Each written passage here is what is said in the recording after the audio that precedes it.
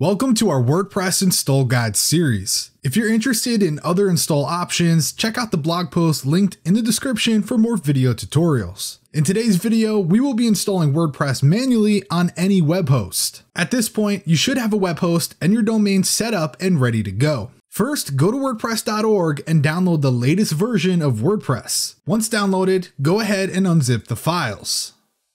Now we need to create a database for our installation. To do this, log into your hosting account and launch cPanel. This process will look different for each hosting provider, so if you need help, contact your host support. From the cPanel dashboard, open MySQL databases we need to do three main things. Create a new database, create a new user for the database, and add that user to the database we just created. Be sure to save this information because we will need it shortly. Now we're ready to transfer the WordPress files over to the site. Accessing your site's directory on your web server will require using an FTP client or accessing the directory via cPanel. I'll show you how to do it both ways. To access your web server root directory using FTP, you will need an FTP client. Check out our blog post to find the best FTP client for your needs. Now you can open your client and enter the FTP credentials provided by your host. Most FTP clients will have a section on the left that accesses your computer and a section on the right that accesses your web server. On the left, locate and open the WordPress folder contents you downloaded earlier.